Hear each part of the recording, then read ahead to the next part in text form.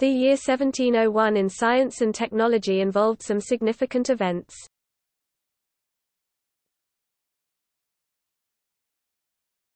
Topic: Earth sciences. Edmund Halley's general chart of the variation of the compass is first published, the first to show magnetic declination in the Atlantic Ocean and the first on which isogonic, or Halleyan, lines appear.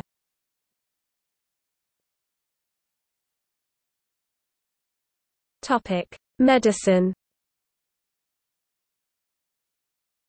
Italian physician Giacomo Pilarini inoculates children with smallpox in Constantinople, in hopes of preventing more serious smallpox sickness when the children are older, thus becoming the first immunologist.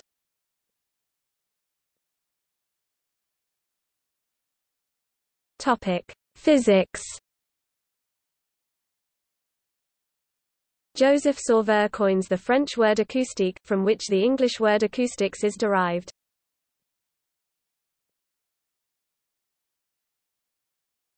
Topic: Technology.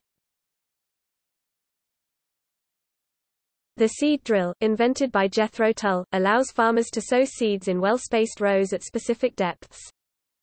Sir Isaac Newton, reporting anonymously to the British Royal Society, describes creation of a liquid in glass thermometer that is 3 feet 1 meter long and has a 2-inch 5 cm diameter bulb using linseed oil.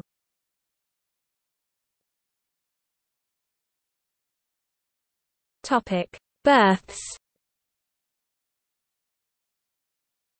January 28 – Charles Marie de la Condamine, French geographer died 1774.